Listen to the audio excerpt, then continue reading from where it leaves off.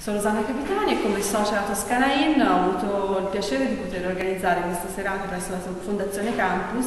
seguendo lo stagista della Fondazione Campus stessa, al fine di fare un focus su quello che sono, secondo me, diciamo, le nuove tendenze del turismo sia in Toscana ma anche diciamo, con un occhio verso il turismo outgoing, facendo un punto della situazione da, con gli operatori, attraverso il dialogo con gli operatori, quindi portando le loro esperienze a conoscenza di tutti i nostri soci, interlocutori e ospiti della serata. Abbiamo quindi avuto l'idea di far intervenire un'agenzia di viaggi, un albergo, un albergatore, una guida turistica, un'azienda che avesse portato dell'innovazione anche per questo settore, quindi ha un sistema di diciamo, recommendations evoluto e anche chiaramente poi far intervenire i referenti della Fondazione Campus e dell'istituto diciamo,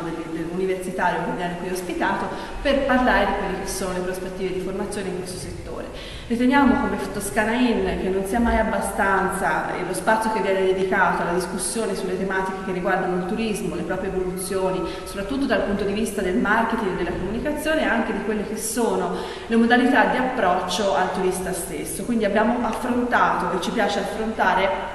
sia diciamo, eh, a due livelli, online e offline, parlando in termini di internet, ma diciamo anche operativo e teorico, quello che è tutto l'insieme di tematiche, problematiche e prospettive che riguardano questo settore.